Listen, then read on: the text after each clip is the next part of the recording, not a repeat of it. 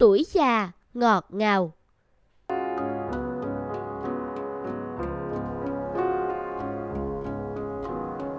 Ôi, bầu trời mùa xuân mới thanh tú làm sao?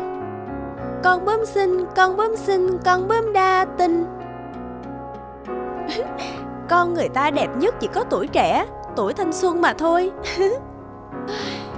Chứ đến cái độ già nua như thế kia thì chẳng còn ra sao nữa dáng vẻ thì xấu xí, điệu bộ thì chậm chạp, khó coi.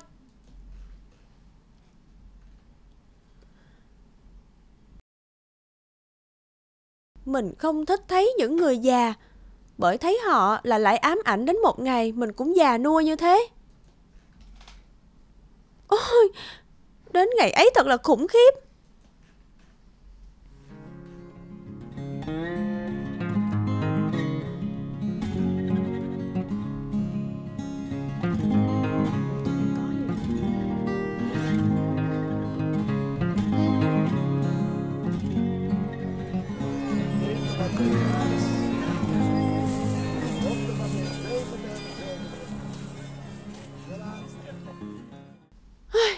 Sao mà chán thế? Giá mà mình được sống ở một vương quốc chỉ có những người trẻ trung mà thôi. Ai, tuổi ấy tập thể dục thì có ích gì, cơ thể còn đường nét gì đâu mà tập với luyện. Mà cái anh này sao đi đâu mà lâu thế? Bắt mình chờ đã gần nửa tiếng rồi.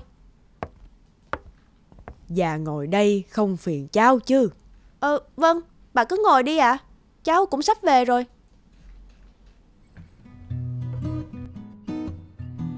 Cháu muốn ăn táo không? Cháu có bó hồng vàng đẹp quá. Dạ không, cảm ơn bà. Đây là bó hoa bạn cháu vừa tặng. Mình xinh như thế này thì bà chẳng khen Lại đi khen bó hoa chứ. Đúng là người già. Cháu có vẻ đang thắc mắc về chuyện gì đó. Ừ, Cháu chỉ đang liên tưởng tới một điều Mà nói ra chứ sợ bà Phật ý thôi. Ồ, thì à, cháu cứ nói đi Có sao nói vậy Bà rất thích những người thật thà mà. Những người trẻ tuổi chúng cháu Giống như những bông hoa rực rỡ này vậy Tràn đầy sức sống. Còn những người già thì chẳng khác nào những chiếc lá mùa thu Héo úa theo năm tháng Rụng rời theo những cơn gió. Nghĩ đến tuổi già thôi thì thật chán Chả còn thiết tha gì. Cháu nói cũng đúng Nhưng bà thì cho rằng Người già có cái quý của người già. Họ giống như quả chín ngon ngọt này vậy Bông hoa thể hiện sự sống của mình ở những cánh hoa tươi đẹp. Còn quả ngọt lại lắng động những giá trị của nó sau lớp vỏ trưởng thành cháu ạ. À.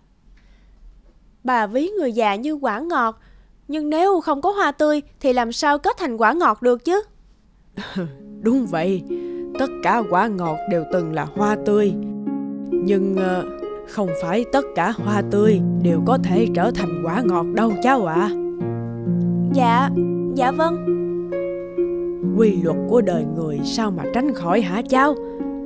Thay vì sợ tuổi già đến sớm, Người ta nên sống sao Để không phải nuối tiếc những ngày tháng tươi đẹp của đời người? Dù là trẻ hay là già, Dù là bắt đầu hay kết thúc, Thì đều là vẻ đẹp cuộc sống ban tặng.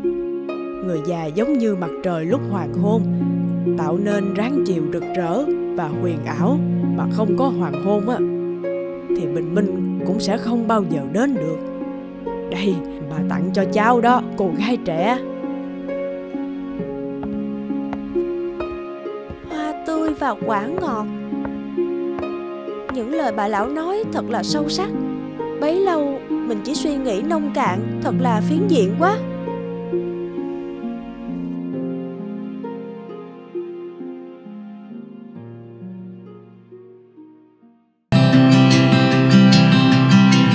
Mẹ ơi, mẹ ơi, mẹ ơi, mẹ ơi, anh hai gửi thư về nè.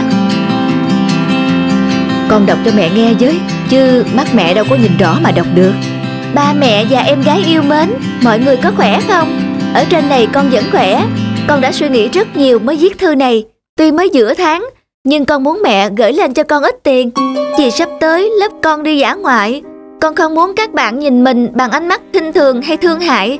Thêm nữa, Sắp tới con muốn đăng ký học thêm lớp ngoại ngữ nữa mẹ ạ. À. Giờ nếu không có bằng ngoại ngữ, ra trường rất khó xin việc. Con mong ba mẹ thu xếp giúp con. Tháng sau con sẽ về thăm nhà. Mẹ, mẹ có nghe con đọc thư anh hai không đó? À, ờ, mẹ có nghe. Thôi, con đi nấu cơm đi. Chắc ba con sắp đi làm đồng về rồi đó. Dân ạ. Mình ơi, rửa tay chân đi. Rồi vào đây tôi bàn với mình việc này. Có việc gì mà mẹ nó nghiêm túc vậy? Thằng Dũng mới gửi thư về đây nè. Nó xin tiền để đi giả ngoại với đăng ký học ngoại ngữ gì nữa đó. Cái gì? Lại xin tiền à? Mới đầu tháng gửi tiền cho nó rồi còn gì? Ba miệng ăn ở nhà không tốn bằng một mình nó. Mình nói nhỏ thôi, thì cả họ mình có mỗi thằng Dũng được học đại học, phải cho nó bằng bạn bằng bè chứ. Bà chỉ được cái chiều nó, con bé nhà mình đi học, cũng còn bao nhiêu thứ phải lo, lại sắp đến hạn nộp học phí rồi.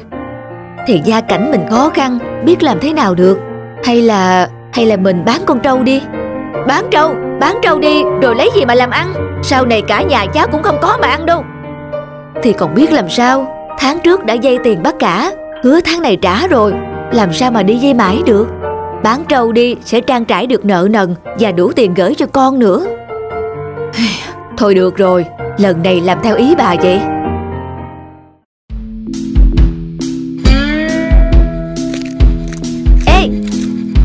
Chà chà, đồ mới từ đầu đến chân thế này. Đôi giày thể thao xịn thế này chắc đắt lắm phải không? Ừ, cũng không phải là rẻ. Đúng là con nhà có điều kiện. Có đồ mới, khao anh em đi chứ hả? Không vấn đề, các cậu thích gì tớ khao. Nào đi thôi.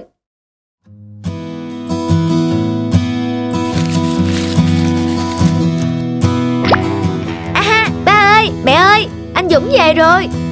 Con chào ba mẹ. À. Con vẫn khỏe chứ? Mẹ nhìn anh ấy xem, to khỏe nhất nhà, bánh bao ra dáng quá. Quần áo giày dép như người thành phố ấy. Con bé này, anh đi học ở Hà Nội, ăn mặc thế này so với các bạn là tên toàn lắm. Ôi!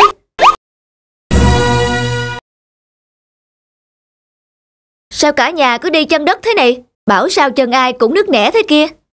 Ờ, thì... Thì ba mẹ suốt ngày chân trần lội ruộng, dầm mưa dãi nắng. Còn em phải cuốc bộ đi học, nên bàn chân mới như vậy đó.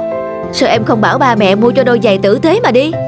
Ba mẹ cũng định vậy, nhưng phải dùng tiền cho con trước nên... Ôi thôi nào, chắc các con đói cả rồi, vào ăn cơm thôi, cơm canh nguội hết rồi các con.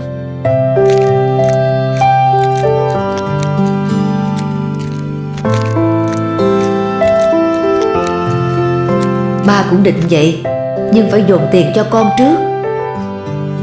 Bấy lâu mình vô tâm quá, chỉ biết nghĩ cho mình, trong khi ba mẹ và em khổ cực như thế này. Ba mẹ ơi, con xin lỗi ba mẹ.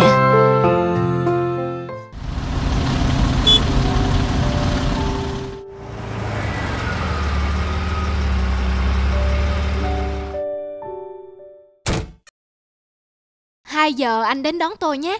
Chiều nay tôi có cuộc họp quan trọng. Dạ vâng, thưa giám đốc. Này anh Lâm, dừng lại đã. Dạ, có việc gì vậy thưa ngài? Anh xem trong xe có cặp của tôi không? Dạ không, tôi tưởng hôm nay ngài không mang theo cặp. Có, tôi có mang. Tôi để tập hồ sơ quan trọng với 500 triệu đồng tiền mặt trong đó. Năm... 500 triệu.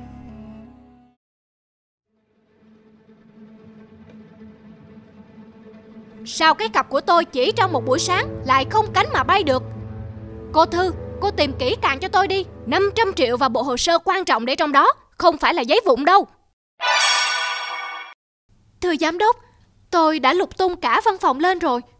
Tôi nghĩ ngài đã bỏ quên nó ở nhà hàng chúng ta đi ăn trưa này với đối tác. Trời ơi, hôm nay là cái ngày gì mà đen đuổi như thế? Cô, cô mau đến nhà hàng đó xem còn thấy không? Giờ này tôi e không thể tìm lại được nữa. Chỉ còn cách báo cảnh sát thôi ạ. À. Càng báo sớm thì càng có cơ may tìm thấy. Hơn nữa, chiếc cặp của ngài có khóa bảo mật do ngân hàng cấp. Nếu không có mã khóa thì không ai có thể mở ra được mà. Không mở được thì người ta lấy dao rạch nó ra chứ sao? Tôi bảo cô đến thì cô cứ đến đó trước đi đã. Dây vào cảnh sát cho tốn kém. Có phải người ta đi tìm không cho mình đâu. Dạ, Thưa ngài không thấy ạ à? Thôi được rồi, cô đến đồn cảnh sát báo mất đồ cho tôi. Chỉ báo đặc điểm chiếc cặp thôi, đừng có kê khai tài sản trong đó. Tuyên bố nếu ai nhặt được chiếc cặp đem trả lại, tôi sẽ hậu tạ... Hậu tạ... một triệu đồng. À không, 500 ngàn thôi. Có mỗi công mang cái cặp mà đòi bạc triệu đắt quá. Đã tốn phí thuê cảnh sát rồi, có chắc gì để tìm được lại cơ chứ. Vâng, tôi đi báo ngay đi ạ. Trời, ông ấy đến nước này mà vẫn keo kiệt đến thế sao? Chắc gì đã có ai tìm ra mà đã so đo tính toán xem hậu tạ người ta 500 hay 1 triệu.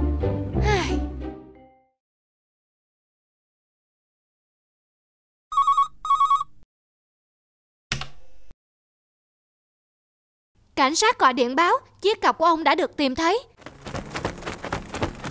Thưa anh cảnh sát, tài sản của tôi vẫn còn nguyên vẹn chứ? Tài sản còn nguyên vẹn. Bây giờ mời ông đến ngay trụ sở để xác minh nhé. Ôi, tiền, tiền của tôi.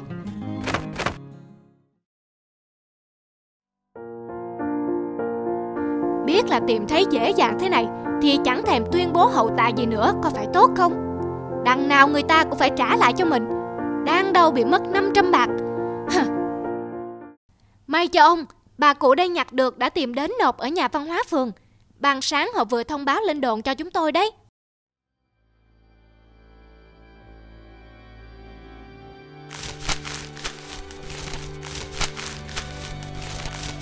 Hừ, đúng 500 triệu nguyên vẹn.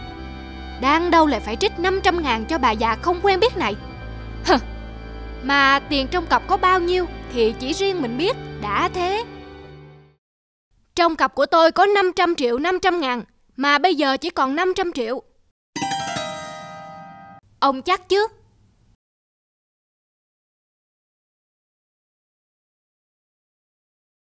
Ông hãy trả lời thật chính xác. Ông thật sự xác nhận trong chiếc cặp này có 500 triệu lẻ 500 ngàn phải không? Chính xác. Không sai một ngàn. Vậy thì chúng tôi xin lỗi, chiếc cặp này không phải của ông rồi, vì trong cặp chỉ có 500 triệu. Ông cứ về nhà đợi tin tức. Theo quy định, nếu trong vòng 6 tháng chiếc cặp này không có người nhận, nó sẽ thuộc về người nhặt được. Đây chính xác là cặp của tôi. Làm sao mà các anh biết được số tiền trong cặp chứ? Đây là nguyên tắc. Chúng tôi buộc phải mang đến ngân hàng mở khóa để kiểm tra tài sản trong chiếc cặp. Chỉ có 500 triệu thôi. Trong cặp lại không có giấy tờ tùy thân của ông Tuy ông mở được khóa Nhưng lại không nói được chính xác số tiền trong cặp Chúng tôi không thể giao nó cho ông được. Anh đừng đùa cợt nữa. Trả lại chiếc cặp cho tôi. Xin lỗi, Đây là cơ quan nhà nước. Chúng tôi làm việc gì cũng phải có nguyên tắc.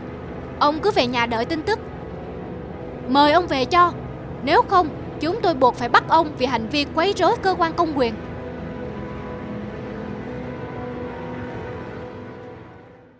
Subscribe kênh để xem thêm những video mới nhất nhé.